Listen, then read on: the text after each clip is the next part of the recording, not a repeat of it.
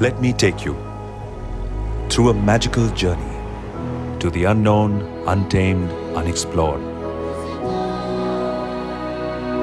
Where skies change colors and the savannah sway in motion far and wide. And heaven meets earth.